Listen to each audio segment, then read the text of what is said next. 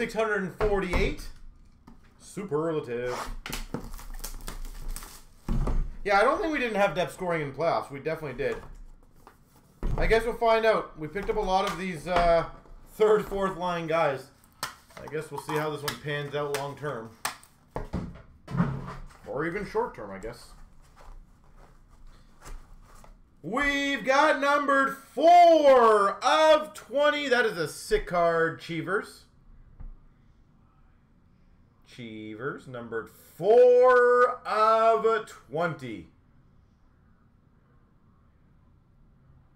Love that mem. We've got numbered 32 of 35, so uh, that's a 2. Gadsby. Bill Gadsby.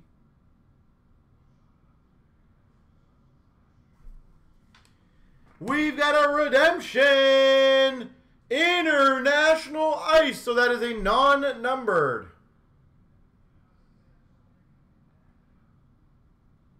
Do I think they've improved? I think it's too early to tell. I don't think the summer's over, um, to be completely honest. So that's non-numbered. Another non-numbered International Ice Auto of Patrick Roy. I don't really see massive losses. What, what would you say is our biggest loss right now? Mikheyev? So we lost 20 goals. Is that really killing us? I think Mikheyev's the best out of the bunch. I agree. We've got number 22 of 25, Patrick Roy, the two spot.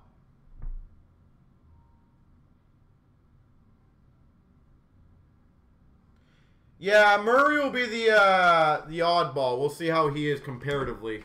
That I could see going very bad or very good. 9 of 18, so the 9 spot of Joe Sakic. The other thing, Frankie, Campbell to me was very good in the playoffs, and I'm happy about that. But were we not, was not the Maple Leafs like the worst duo of goalies for the second half of the year? I think people also forget that part of the Campbell. Numbered 4 of 18, Teemu Selanne.